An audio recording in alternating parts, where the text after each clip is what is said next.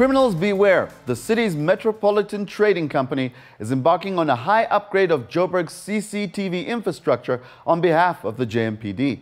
50 new cameras with facial recognition capability will be installed in designated crime hotspots across the city. The city of Joburg increases traffic wardens by 180 to boost Metro Police presence in the city.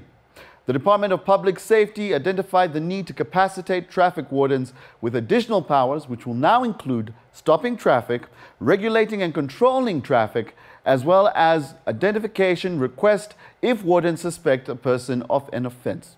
And that's your news in 60 seconds.